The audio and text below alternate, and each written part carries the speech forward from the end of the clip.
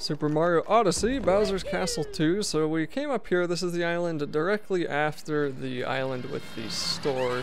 And I did a couple of things, there's another, uh, there's like two moons you can get here before you fight these guys. And I decided to cut all that out because I just, I, I want to get to the bosses, I want to get through, you know, this world into the cool parts of the end of the game. But anyway, if you've been keeping track, we have two Broodals left to apparently kill because the other two Broodals we defeated are no longer on the ship little bit dark, and then we're going to fight both of them here, and this will be kind of the next major moon on our way.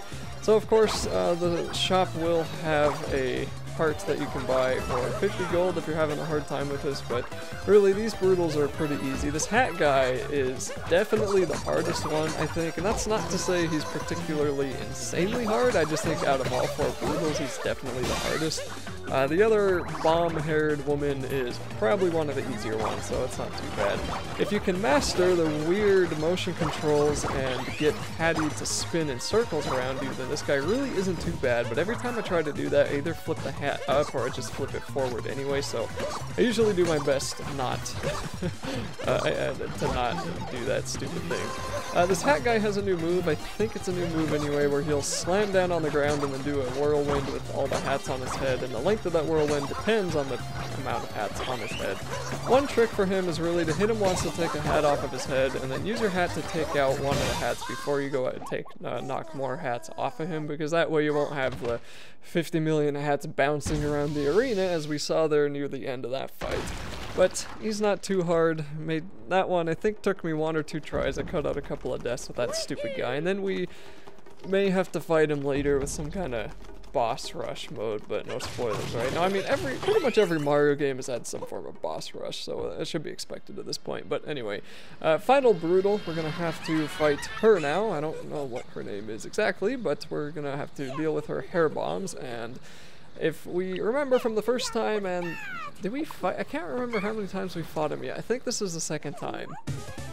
Probably is, but anyway, like with the first time, she's gonna fling these bombs at you, and if you line yourself up correctly when she stops moving, then you should be able to fling them right back in her face. But if you can't do that, all you have to do is wait for her to get the really big bombs out, swing around until she decides to plant them down somewhere. Try to avoid it, unlike what I was doing there. I was taking a lot of damage with these two boss fights, and then you can fling them right back to her and then jump on her head. So I think the next two ones I actually figure out how to fling the bombs back on her earlier cycles. I guess we'll see in a second, because she's going to go through her psychotic bombing of Normandy, I guess, and then uh, make a strange pentagram in the ground, so know, that's, that's not really a pentagram. But it is like a pentagon missing one side, so does that make it a square? I don't know. But anyway, looks like I don't get that one correct either, and I think this hits me again too. Nope, no it didn't. Okay. Does this one hit me? No, I think I'm good now. Uh, so let's just wait for her to slam those down and then those go right back into her face and we can jump on her a second time then as with all Mario laws you're gonna have to hit her for one final and third time. And I'm just waiting to see if I do actually get her in a kind of cooler looking hit there.